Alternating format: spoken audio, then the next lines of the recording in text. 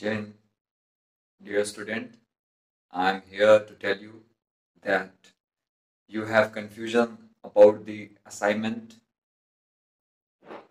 You get confused what is called project file and what is assignment. So I am here definitely clear your all doubt that the task, the one thing, one work which is given by your senior, your teacher, and you have to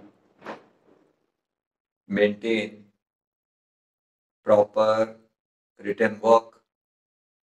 That is assignment. And project file it is totally your plan which you decide and you do it in a proper file. So here the example. Simple assignment how to complete an assignment from where you get the knowledge that is called your uh, resource about that topic.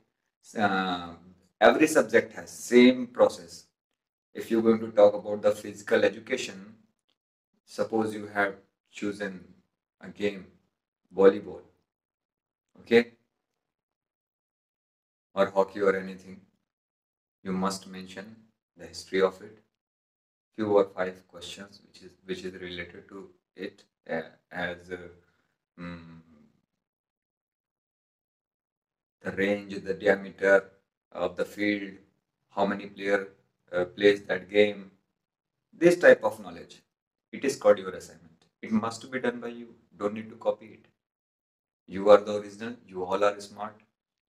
So here's the demo, and uh, best of luck.